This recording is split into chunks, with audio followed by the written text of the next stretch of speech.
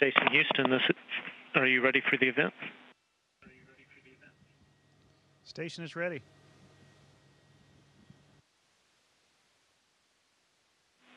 KSBJ Radio, this is Mission Control Houston. Please call station for a voice check.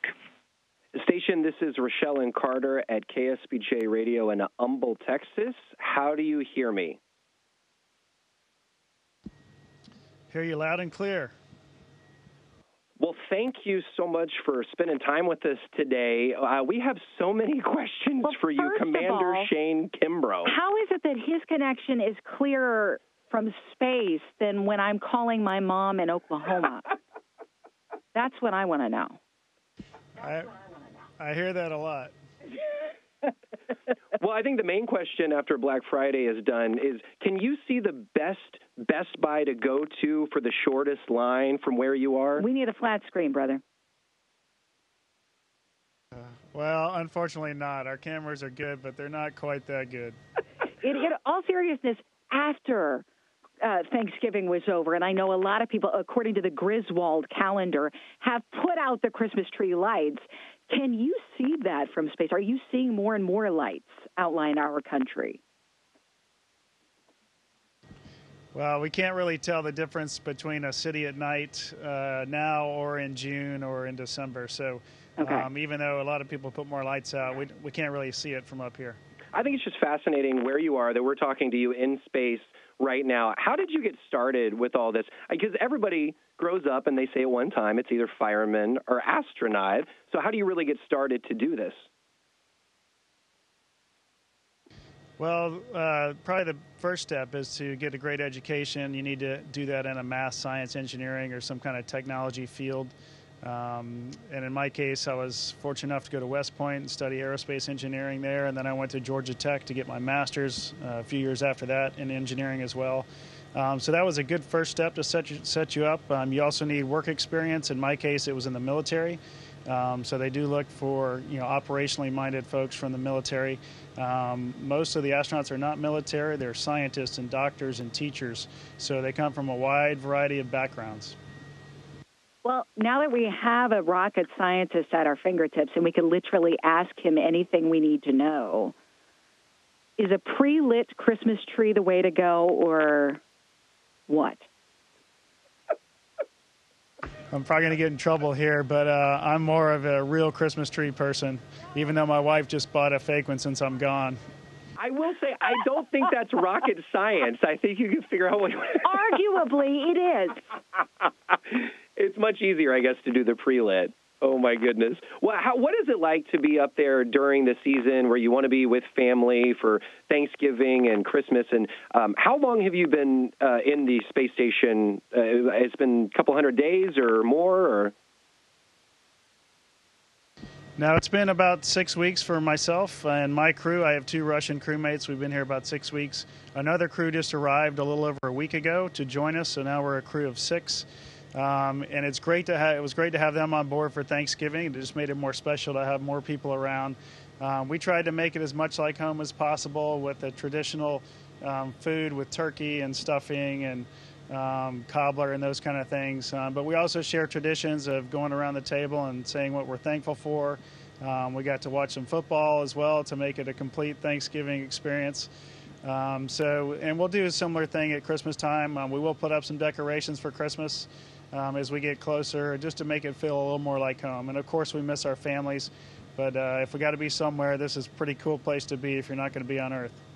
It must be a weird Thanksgiving because all the food is like toothpaste. That's real, right? It's turkey toothpaste and stuffing no, toothpaste. No, it's not toothpaste. It's it's like beef jerky. Is that turkey. what it is? Dehydrated.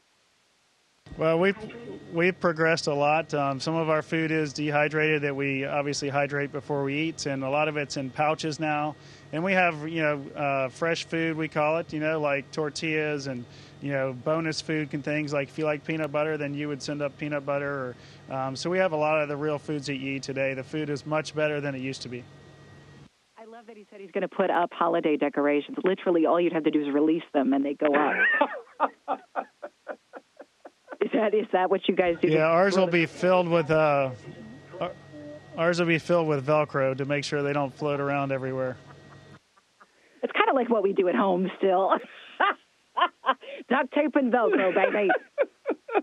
so you are from uh, Killeen, I believe, originally, and so you've been around the Houston area quite a bit. What is your favorite part about Houston?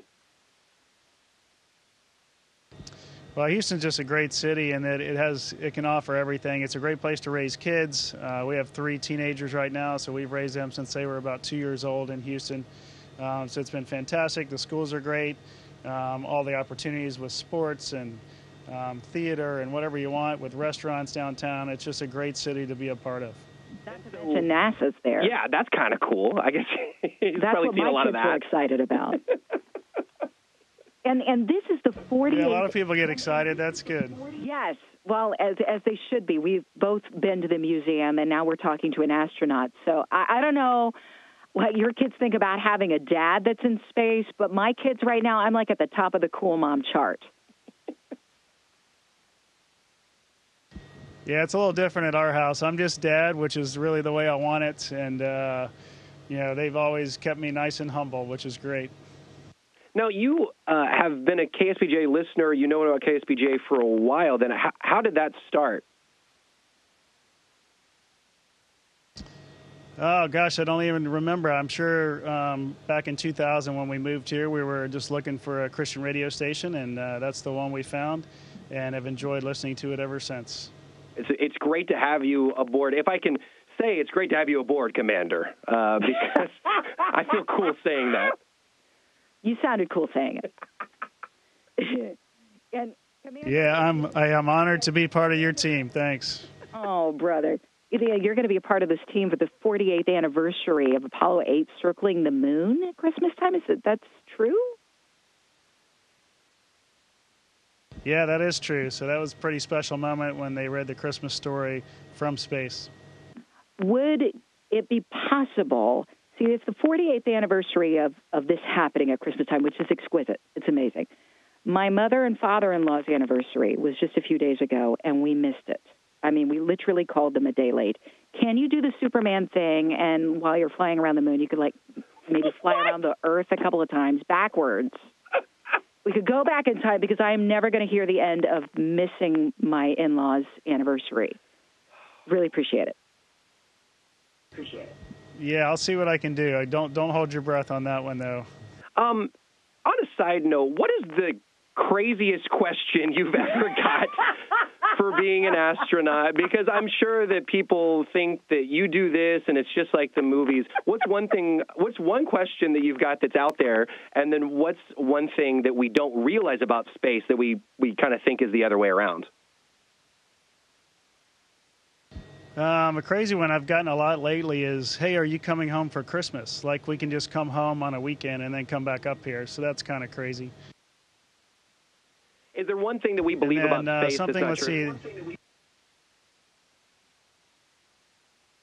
Oh wow, that's a good one um, because everybody kind of has different perceptions. I think most people think that we, when we go to space, we go to the moon, and we haven't been to the moon since the early 1970s. But most Americans and most people around the world, that's what they think when they think about space. So it's just what they relate to space. So we don't go to the moon; we go to the space station now, which is only about 250 miles away from our planet.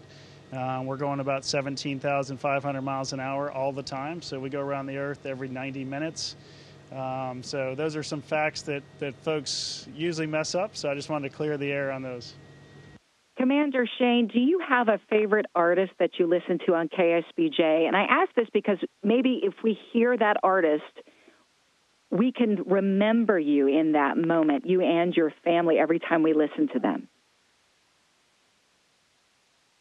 I have a lot of them, so I'll get in trouble if I just mention one. But the whole Passion team, Kristian Stanfill, Crowder, uh, Need to Breathe, uh, Matthew West, Brandon Heath, Casting Crowns. Um, I got a bunch of them, so um, th- there aren't many I don't like. Let me put it that way. We got to wrap up here in just about a minute, but I just want to ask you, why do you love doing what you do? Well, I think it uh, comes from um, initially from my time in the military, and that I just love serving and I love serving my country. Um, and this just happened to be an incredible opportunity that I was given to be able to do this in uh, quite a unique environment. Of course, um, it's not it's not easy. Um, there is there is some there are many challenges, and uh, just the separation is a challenge for people with families and kids, and um, we're working through all that. And uh, we know it's all going to be um, in God's plan down the road, but not quite sure what that is right now, like like most times. Well, we really appreciate you. Your country is behind you. You are a hero, whether or not the kids see that right now. Merry Christmas to all of you, and thank you so much for your time. All right, Merry Christmas, Houston. Station, this is Houston ACR. That concludes the event. Thank you.